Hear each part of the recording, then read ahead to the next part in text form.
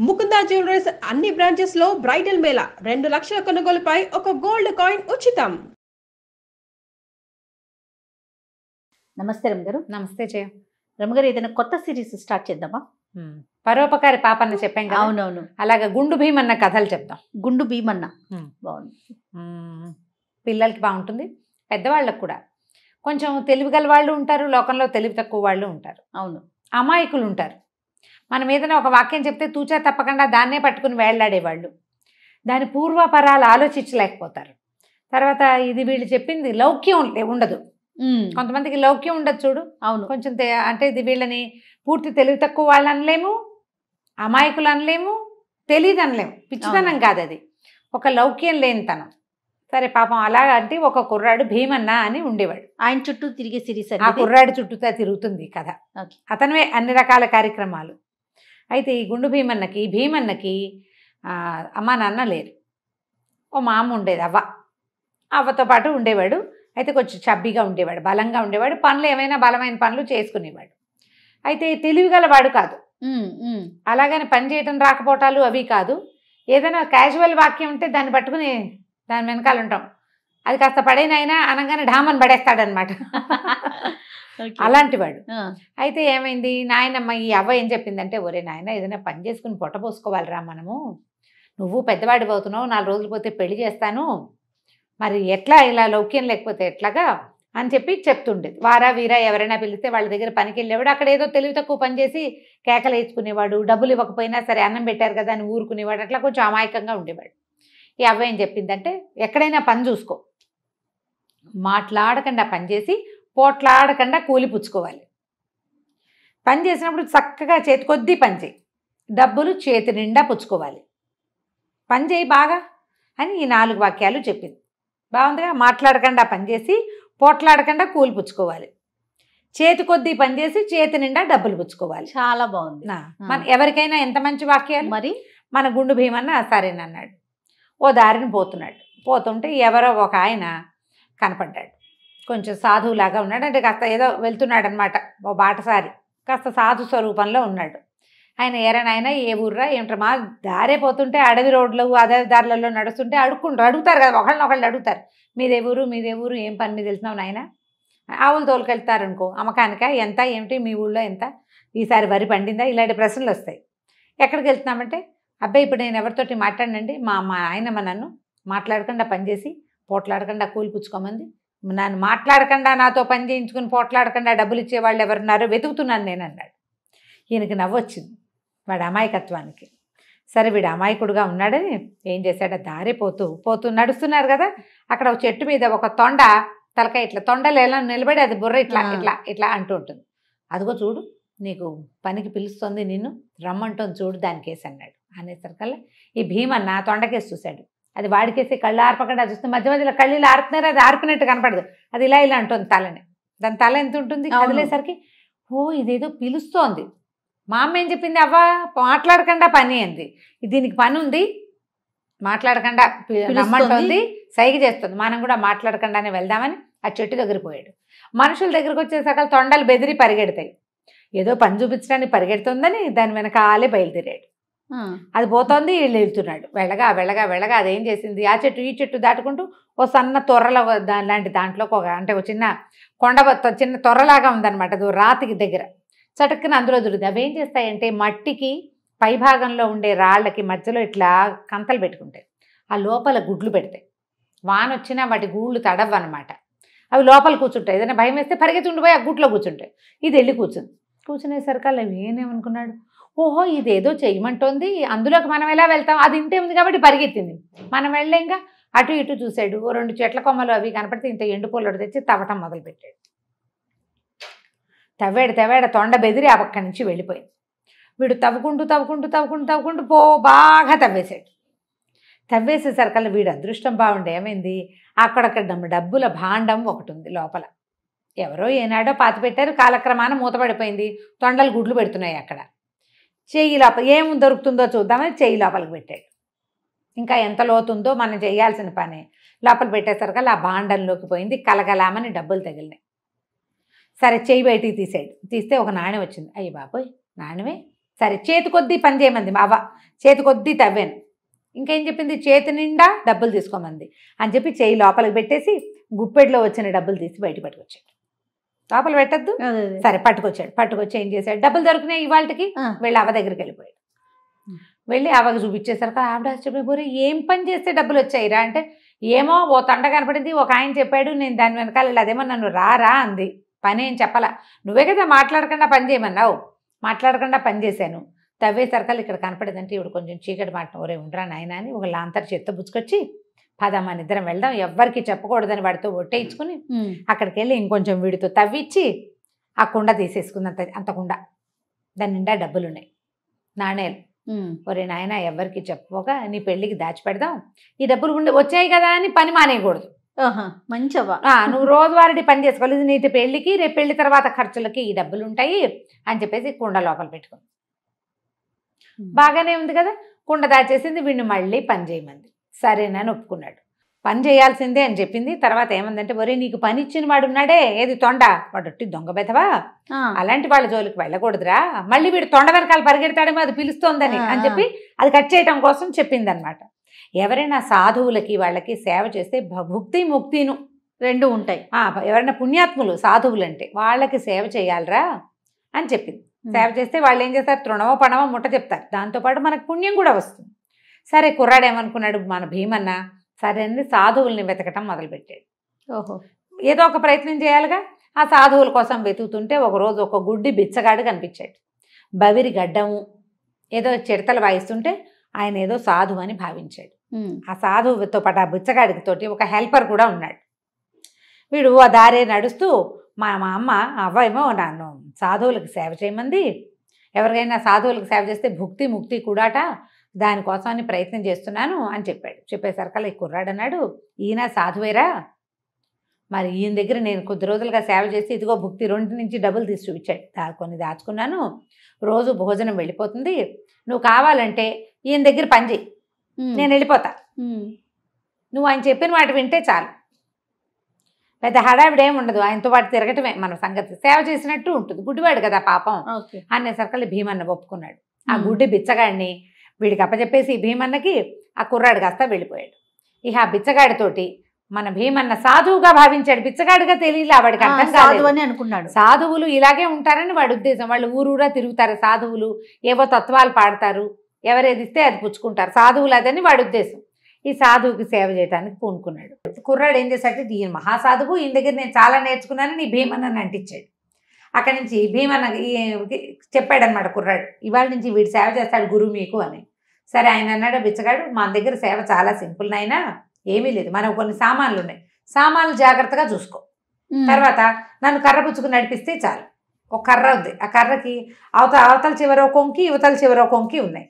వెనకాల కొంకి ఆయన పట్టుకుంటాడు. ముందు కొంకి నడిచేవాడు పట్టుకోవాలన్నమాట. ఓహో. అక్కడి నుంచి సామాన్లు ఏమున్నాయి? తట్ట బుట్ట. చెంబు తపేల. తర్వాత ఏమో లోట గరిట కర్ర. అవే సామాన్లు. తర్వాత నువ్వు నడిచేటప్పుడు నువ్వు మధ్యలో ఆగక్కర్లా. నీళ్ళుంటే నీళ్ళు గురు అని చెప్పాలి. రాయి ఉంటే రాయి అని చెప్పు. నువ్వు నా కోసం ఆగక్కర్లా నా చేయి పుచ్చుకుని నడిపించక్కర్లా. నువ్వు నీళ్ళు అని చెప్తే నేను నీళ్ళలో ఎలా నడవాలో నాకు తెలుసు అన్నాడు. బాగుందిగా? సరే వీటి సామాన్లన్నీ చూసుకున్నాడు. ఓ తట్ట బుట్ట ఉన్నాయి. తర్వాత చెంబు తపేలా ఉంది. లోట గరిట ఉన్నాయి. కర్ర ఏమో ఆయన చేతిలో ఉంది.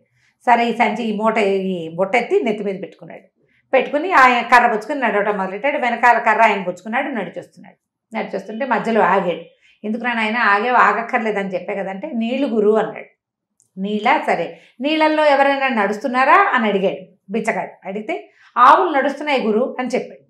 సరే అయితే మనకంటే ఆవులు నడుస్తున్నాయి అంటే అవి మునగవన్నమాట. బిచ్చగాడి. తెలివితేటలు కళ్ళు లేని వాళ్ళు అందులకి భగవంతుడు ఒక తెలివి పెడతాడు. ఆవులు నడిచి అవతలకి వెళ్ళిపోతున్నాయి అంటే మనం కూడా నడిచి వెళ్ళిపోగలం. ముందు ఎలాగో వాడు పట్టుకుంటాడు. అక్కడి నుంచి సరేనన్నాడు ఆ వెనకాల ఆయన కర్ర పుచ్చుకున్నాడుగా వీడు నడుచుకుంటూ పోయాడు నీళ్ళలోకి ఇద్దరు నీళ్ళల్లో నడుస్తున్నారు. నడుస్తుంటే ఏమైంది? రాక వీడికి భీమన్న కాలికి ఒక రాయి తగిలింది. రాయి గురు అన్నాడు కానీ ఏం చేశాడు? ఆ దబిక్కి ముందుకు పడ్డాడు. ఓహోహో. బుట్ట వీడి నెత్తి మీదే ఉంది కానీ ఆ కర్ర- వీడు కర్ర వదిలిపెట్ట నీళ్ళలో పడంగానే ఆ కొంకితో లాగబడి ఆ బిచ్చగాడు గస్త నీళ్ళలో పడిపోయాడు. ముందు పడితే ముందు వాడు పడిపోయాడు అనుకో వీడిని పట్టుకుని ఉన్న వెనకవాడు ఆటోమేటిక్గా పడిపోతాడు. వీడు కంగారు పడి లేచాడు. లేచి బుట్ట తట్ట మళ్ళీ అన్ని సరి చూసుకుని సామాన్ నెత్తి మీద పెట్టుకున్నాడు కొంకి పుచ్చుకున్నాడు కర్ర పుచ్చుకున్నాడు. కర్ర వెనకాల బిచ్చగాడు లేడనే విషయం చూసుకోలేదు. ఓకే. ఈ బిచ్చగాడు నీటి ప్రవాహానికి కొట్టుకుపోయాడు. ఆయన నీళ్ళలో పడ్డాడు. అట. కళ్ళు కనపడితే వేరే వ్యవహారము. పైగా ఆదాహట్న నీటిలో పడేసరికల్లా కంగారు వస్తుంది. నీళ్ళు లోతు లేవు మనం నడవగలిగేంత ఉన్నాయి అనేది చూసిన వాడి వ్యవహారం వేరు చూడలేని వాడి వ్యవహారం వేరు పాపం. ఆయన ప్రవాహానికి ఓ పక్క కొట్టుకుపోయాడు. చిన్న నీరు కాలవది ఈయన వీడేం చేశాడు? కర్ర పుచ్చుకుని వెనకాల మనిషి ఉన్నాడు అనుకుని నడుచుకుంటూ వచ్చేసాడు. వచ్చేసి చూసేసరికల్లా ఏమైంది? వెనకాల ఎవరో పట్టుకున్నారు. ఈ సంచి వీడు కింద పడ్డాడు కదా బుట్ట పడేసరికల్లా బిచ్చగాడి వెనకాల ఆయన సంఖకి ఒక జోలు ఉంది బిచ్చగాడిక? ఆ, బిచ్చగాడు పడిపోయాడు కదా. ఈ దీనికి ఒక కొంకి ఉంది కదా కర్రకి ఆ. కొంకికి తగులుకుని ఉంది. అందులోకి ఈ నీళ్ళలో పడేసరికల్లా ఓ పాము కాసిన చేపలు పడ్డాయి. ఆ సంచిలో. సంచిలో. వీడేం చేశాడు? గట్టిగా పుచ్చుకున్నాడు కదా ఆ కొంకిని. ఆ. కొంకి పట్టుకుని సంచిని మెలిపెట్టి పట్టుకునే సందట్లో ఏమైంది? ఈ సర్పం కాస్త ఆ కొంకి మెలికలో పడింది దాని తల. అది. పైకి రాబోయింది. వీళ్ళు లేచి లేవదీసి ఆ కర్ర మెలిపెట్టి పుచ్చుకునేటప్పుడు ఆయన పుచ్చుకోలేడు ఆయన గుడ్డివాడు అనే ఇంగితం లేదు. వీడు బ్రెయిన్ తక్కువ వాడు కదా ఆ మెలికలో పడి పాము ఇట్లా పడగెత్తింది ఆ మెడ పట్టేసేసింది అది అట్లాగే చచ్చిపోయింది. ఓహో. వీడు ముందుకెళ్ళాడు. ముందుకెళ్ళేసరికల్లా ఈ కాలువ దాటేశాడు. ఊళ్ళోకి అడుగు పెట్టాడు. కాలువ దాటగానే ఊరుంది. జనాలందరూ చూస్తున్నారు వీడిని. తట్టబుట్ట నీళ్ళతో తడిసిపోయి ఉన్నవాడు వీడు వెనకాల ఒక కర్ర పుచ్చుకుని నడుస్తున్నాడు. ఆ కర్రకున్న కొంకికి పాము ఉంది జనాలంతా వాడికేసో చూస్తారు ఏమిట్రా. ఏమిట్రా పాముని మోసుకొస్తున్నావు? ఏరా అమ్మో పాము పాము అని కొంతమంది అరిచారు. ఏం మోసుకొస్తున్నావురా అని కొంతమంది అడిగారు. మా గురువుగారండి అన్నాడు. ఏం గురువురా? గురువుగారు పాములారు అయిపోయాడు చూసుకోరా వెనకాల? ఏ సాములారిని తెచ్చావురా అని. అందరూ నవ్వారు. నవ్వేసరికల్లా వెనక్కి తిరిగి చూస్తే ఏముంది? పాము. గురువు సాధువు. ఆయన పాముగా మారిపోయాడు. ఓహో. అంతేగా? అయ్యో గురుగారు పాముగా మారిపోయాడు. ఇదేమిటి ఇలా అయిందని సంచి తీస్తే సంచిలోంచి చేపలు ఎగరబడ్డాయి. ఇంకేం చేయాలో తెలియలే సరే ఇంకేం చేస్తాడు? ఆ పాముని తీసి బయట పారేశారు. చుట్టుపక్కల వాళ్ళని బండి భయపడతాడేమోనని తీసి పారేశారు. వీడు ఇంకేం చేయలేక అయ్యో స్వాములారి దగ్గర మా నాయనమ్మ ఏం చెప్పింది? అవ్వా నువ్వు వెళ్తే భుక్తి ముక్తి. నీకు కొంచెం జ్ఞానం కూడా వస్తుంది పెద్దవాళ్ళతో తిరిగితే. చెప్పింది ఆవిడ. అయ్యో స్వాములారికి మోక్షం వచ్చినట్టుంది. ఆయన పాము అయిపోయాడు పాము కాస్త చచ్చిపోయిందంటే స్వాములారు వెళ్ళిపోయాడు. రూపం మార్చుకున్నాడు స్వాములవారు అలా ఓహో. భావించాడు వాడు. ఆయన పడిపోయాడు ఇది వచ్చింది అవన్నీ వాడి బుర్ర కందల. చుట్టుపక్కల వాళ్ళు అడిగితే వీడేం చెప్తాడు? మా స్వాములారు నేను పుచ్చుకొచ్చాను. ఆయన ఎప్పుడు పాముగా మారాడో నాకు తెలీదు. నీళ్ళలో పడిపోయాడు నీళ్ళలో సంచి పడింది ఆ ఇన్ఫర్మేషన్ ఇవ్వాల. సరే అక్కడి నుంచి ఇక ఏం చేస్తాడు?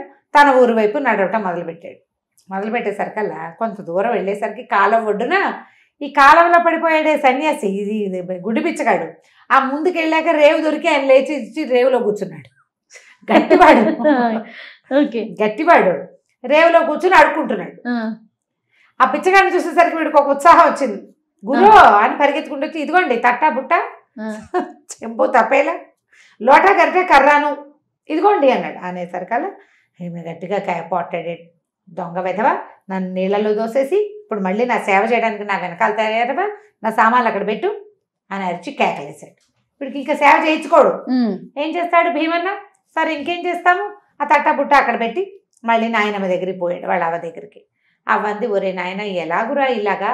నువ్వు స్వాములారి దగ్గర సేవ చేసి ఏదో తెస్తావనుకుంటే నీకు జ్ఞానము రాలేదు ఇది చెప్పి కదా జరిగిన కథ అంతా చెప్తే మా అమ్మ బాగా ఊహించింది. ఆవిడ తెలివైంది. ఏం జరిగి ఉంటుందో వీడికి అర్థం కాదు. నా స్వాములారు వేషం మార్చుకున్నారు. ఆ వేషంలో చచ్చిపోయారు మళ్ళీ అక్కడ ప్రత్యక్షం అయ్యారు. స్వాములారు మహత్తు కలిగి ఉన్నాడని భావిస్తున్నాడు అంతే మరి సరే ఏమైంది? కొద్ది రోజులు గడిచాయి. ఆ ఊళ్ళో ఒక మంచి శ్రీమంతుడు ఉన్నాడు. శ్రీమంతుడి దగ్గర ఒక పనివాడు ఉన్నాడు. ఆ శ్రీమంతుడికి పని పాట ఏం లేదు. ఆయన పొద్దున్న తినేసి పడుకునేవాడు. మధ్యాహ్నం లేచి మళ్ళీ ఏదో కాస్త తినేసి మళ్ళీ పడుకునేవాడు. రాత్రి మళ్ళీ తినేసి పడుకోవటమే. ఆయనకి ఏమీ పని పాట లేదు బోల్డ్ డబ్బులు ఉన్నాయి ఓకే. వంట వాడిని పెట్టుకున్నాడు. వండటం తప్పిస్తే ఇంకేం పని లేకపోవడంతో వంటవాడు కూడా కొంచెం బలిసాడు నేను ఒక్కడనే చేయలేకపోతున్నానండి ఇంకో మనిషిని పెట్టుకుంటానని శ్రీమంతుడిని అడిగాడు. ఆయన పెట్టుకోమన్నాడు. అప్పుడు ఆ వంటవాడు ఏం చేశాడు? వీళ్ళ ఇంటికి వచ్చి ఏమమ్మా నాకు ఒక కుర్రాడు కావాలి పని సాయానికి పై పనులకు సహాయం లేదు. మరి మేము ఇంట్లో పిల్లాడు ఉన్నట్టు కదా పంపిస్తావా? అన్నాడు. సరే ఈవిడేమో మనవడి అడిగింది. ఏరా భీమన్న పోనీ శ్రీమంతుల ఇంట్లో పని చేస్తావా? అని అడిగింది. సరే పనే కదా మనకు కావాల్సింది డబ్బులు వస్తాయి. సరే చేస్తాను అన్నాడు పోయి వాళ్ళ ఇంట్లో చేరాడు. ఈ శ్రీమంతుడు ఏమిటి? పొద్దున పది గంటలకి పలహారం చేసి పడుకుంటాడు. లేదా అన్నం తిని పడుకుంటాడు. అన్నాలే తింటారు పది పదిన్నర కల్లా. అన్నం తిని కాసేపు అటు ఇటు తిరిగి పన్నెండు గంటలకు విశ్రమిస్తాడు. మూడున్నర నాలుగు గంటలకు లేచి నా పలహారం ఎక్కడరా? అంటాడు. మళ్ళీ. అంటే ఇతను ఏం చేస్తాడు? ఏదో పట్టుకొస్తాడు తినడానికి. ఆయన అవి తినేసి మళ్ళీ కాసేపు పడుకుంటాడు. మూడింటికి ఆకలేస్తుంది అనమాట కొంతమంది ఉంటారు ఇట్లా తిని. పడుకునేవాళ్ళు. తినబడుకోవటం అంటారు దాన్నే. అయితే లేచాక నా పలహారం ఎక్కడని మళ్ళీ ఎరిసి మీరు తిన్నారయ్య గారు? ఇదిగోండి మీ పళ్ళెము ఇదిగో మీ మూతి చూసుకోండి. తిన్నది మూతి కడుక్కోకుండా పడుకున్నారని చూపించేవాడు. కొన్ని రోజులు ఇలా గడిచాక వీడికి ఏమనిపించింది? వంటవాడికి పలహారం చేసే పని ఎందుకు? ఎంగిల్ పళ్ళాలు చూస్తే వాడే నోరు మూసి పడుకుంటాడు నిద్రపత్తలో ఉంటాడు. అని భావించి ఎంగిలి పళ్ళాలు సిద్ధం చేసి ఆయన మూతికి కాస్త ఏదైనా ఆ రోజు చేసిన పదార్థం పూసేసి పూసేసి ఇదిగో మీరు తిన్నారు అని చూపించేవాడు. కొద్ది రోజులు ఇలా అలవాటు అయ్యింది వాడికి. ఆయనకి ఆకలి కాదు. ఆ వేళకి లేచి ఏదైనా తినాలని ఒక పాయింట్. పైగా వెంటనే నిద్రపోతాడు. ఇలా అలా చేసేవాడు. అయితే ఏమైంది? రోజు ఆయన ఎంగిలి పళ్ళాలు పెట్టడం ఒక వారం గడిచింది. భీమన్న వెళ్ళి ఒక వన్ వీక్ అయి ఈ ఎంగిలి పళ్ళెం కింద పెట్టడం ఆయన మూతికి కొంచెం మూతికి మీసాలు పెద్ద పెద్ద మీసాలు ఉంటాయి ఆయనకి బొంగ మీసాలు. ఆ మీసాలకి కాస్త మంచం మీద ఒక నలకంత పడేయటం. తర్వాత వాడు హాయిగా కులాసాగా తన దారిని తను ఉండటం చేసేవాడు. ఒకరోజు ఏమైంది? భీ- భీమన్న కప్పచెప్పాడు భీమన్న కప్పచెప్పి ఒరే ఎంగిలి పళ్ళాలు కింద పెట్టు ఇందులో ఉన్న తేనె నేతి నెయ్యి అయ్యగారి మూతికి ముక్కుకి రాయి మూతికి రాయి అని చెప్పాడు. మూతికి రాయమన్నాడు. సరే వీడు వచ్చి పళ్ళాలు కింద పెట్టాడు. ఈయన పడుకుని నిద్రపోతున్నాడు. చిన్నగా గురక పెడుతున్నాడు కూడాను. తీరా చూస్తే ఏం చెయ్యాలి అని ఆలోచించాడు. మూతికి రాయాలా ముక్కుకి రాయాలా? మూతికి రాయాలంటే మీసాలు ఉన్నాయి. వాడు చెప్పింది మీసాలకి అని చెప్పాల. మూతికి. మూతికి అని చెప్పాడు. ఇప్పుడు మూతికి రాస్తే ఏమవుతుంది? మూతికి అంటది అది మీసానికి అంటుతుంది అతను చెప్పిన మాట నేను విన్నట్టు కాదు. పోని ముక్కుకి రాస్తేనో? ముక్కుతో కాదు కదా తినేది నోటితో తింటాను. వీడికి ఈ తెలివి ఉంది. గడ్డానికి రాస్తే ఏమవుతుంది? అని ఆలోచించి అయ్యగారు అయ్యగారు ఒకసారి లేవండి. అని లేప లేపేసరికి ఆయన ఏమిట్రా? అని లేచాడు. మరండి మరి ఇది పలహారం మీ మూతికి రాయాలి. మూతికి రాయమంటారు. ముక్కుక మీసాలక గడ్డానిక? దేనికి మీరు రాయమంటారు? దానికి రాస్తారని అడిగాడు. అడిగేసరికి మూతికి రాయటం ఏమిట్రా? తినడానికి పెట్టాలి కదంటే కాదండి ఎంగిలి పెళ్ళం కింద పెట్టాను. మూతికి రాస్తాం రోజు ఆయన రాస్తాడు. ఇవాళ నన్ను రాయమన్నాడు. మీ మూతేమో కనపడదు మీసాల్లో. దేనికి రాయమంటారో చెప్పండి అన్నాడు. అనగానే ఆయనకు ఒక క్షణం ఏమిట్రా? ఏం పెట్టావు కింద? అన్నాడు. ఎంగిలి పెళ్ళం కింద పెట్టానండి నేను. అయితే నేను తినలేదుట్రా? అన్నాడు. మీరు తినలేదండి. రోజు అలాగే పెడుతున్నాము. ఇవాళ కూడా నేను పట్టు పెట్టడానికి పట్టుకొచ్చాను. సందేహం వచ్చింది. అడగాలి కదా చూడండి మరి. సందేహం. గురించి చేసుకోవద్దు. అందుకని మిమ్మల్ని లేపడితే మీరు చెప్తే మూతికి రాయమంటారు మీసానికి రాయమంటారు ముక్కుకో గడ్డానికో రాయమంటే అక్కడ రాస్తారండి అన్నాడు. అనగానే ఆయన వెంటనే తన వంటవాడు చేస్తున్న మోసం అర్థమైపోయింది. అక్కడి నుంచి హత్తెరిక అని లేచి ముందు వంటవాడిని చెడామడా రెండు కొట్టాడు. వంటవాడికి ఏం ఎవరు లోకువా? భీమన్న లోకువా? అంతే కదా. వారం రోజులు పనిచేసిన జీతం ఇవ్వకుండా రెండు దెబ్బలు కొట్టి వెదవా నా జీవిక పాడు చేసేసావు నీ వల్ల అని కొట్టి తరిమేశాడు. ఆ, మళ్ళీ భీమన్న యథాప్రకారం అవ దగ్గర. వచ్చాడు. ఇప్పుడు సందేహ నివృత్తి అయిపోయింది.